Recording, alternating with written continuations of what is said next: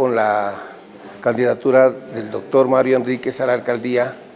Estamos convencidos de que él es una persona joven y nos ha hecho muchas invitaciones a todos los líderes comunitarios para que nos vinculemos y demos a conocer las necesidades que tenemos en la localidad.